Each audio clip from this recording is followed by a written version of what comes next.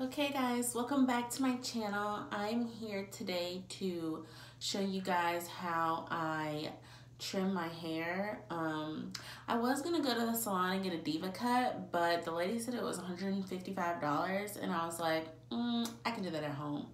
So I'm just gonna show you guys how I trim my hair um, when I notice that my ends are looking really dead and I need more life. So stay tuned. So I just want to start off by saying, first of all, my shirt is pinned up because um, these girls were going to be showing all the goodies and I did not want that. Second of all, I want to say that I am not a professional hairstylist. I trim, I know how to trim my own hair because I've done it before, but I'm no way a professional. So if you want to try trimming your own hair, I mean, it's really not that hard. You kind of just look for the dead ends and trim where you think is necessary. But if you want to go to, to a salon, you know, that's cool too. Whatever you want to do. And I'm also doing this um, with dry hair. I don't, I've trimmed my hair previously. I've trimmed it um, when my hair was wet, but I saw this video of this girl trimming her hair when it was dry and I've done it before like that but I haven't done a lot. So I'm just gonna try it dry today just so I know what it'll look like when it's in its natural state.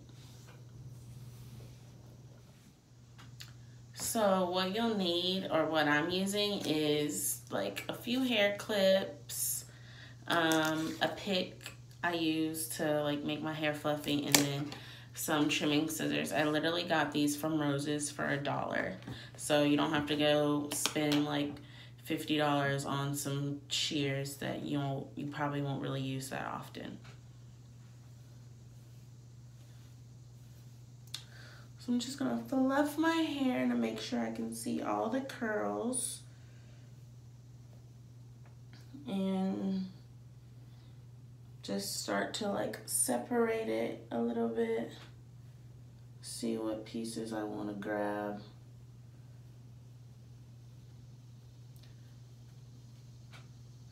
I'm actually gonna put this up first. If you know me you know I do not like hair ties that much and I'd rather use clips because it doesn't snag on your hair as much. So just note to self. Hair clips over hair ties, people. So I'm literally just gonna go through and snip the dead ends. That's simple as it gets.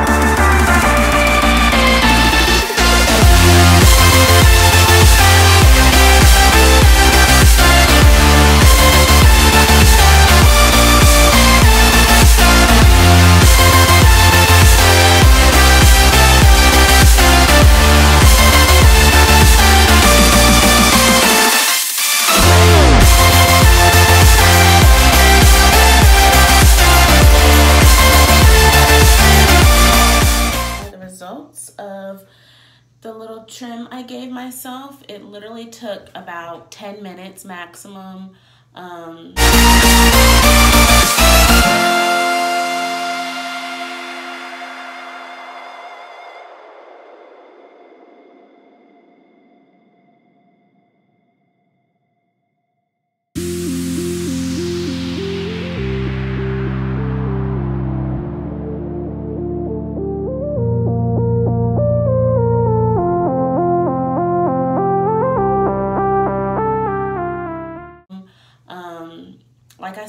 professional. I just kind of go through, trim off what I feel like I need to trim off. I may go back and actually cut off a little bit more just because my ends were super dead. But um, the good thing about having curly hair is that if you trim it and it doesn't look too good or you're not happy with the result, your hair is curly, so you're not gonna really be able to tell that much. That's why I also like to trim it, um, you know, when it's in its fro because you'll know exactly what it's going to look like. And if not, you can go back and style it how you want. So thanks for watching, guys, and I'll see you next time.